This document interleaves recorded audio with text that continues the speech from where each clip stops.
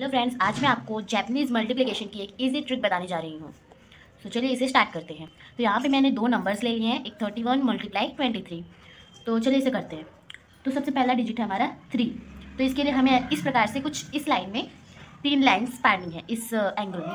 कुछ इस प्रकार से तीन लाइन्स पारनी है क्योंकि थ्री डिजिट है इसलिए थ्री लाइन्स होगी। देन हमारा सेकेंड डिजिट है वन तो यहाँ पर हम वन लाइन पार देंगे कुछ इस एंगल में।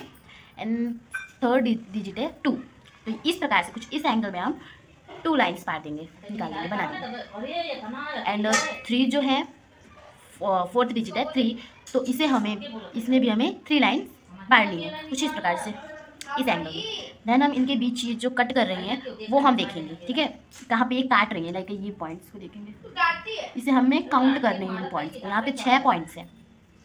लेकिन हमें स्टार्ट यहाँ से करना है फ्रेंड्स ना कि यहाँ से ठीक है? हम यहाँ से स्टार्ट कर देते हैं।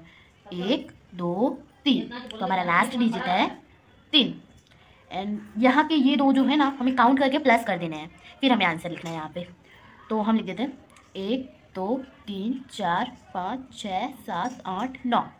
यहाँ पे दस, ग्यारह। इन दोनों को याद रखना है आपको कि ये दोनों को प्लस करके फिर लिखना है।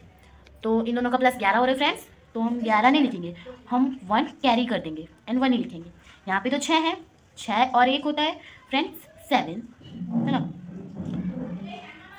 फ्रेंड्स ये देखिए हमारा आंसर निकल आया है।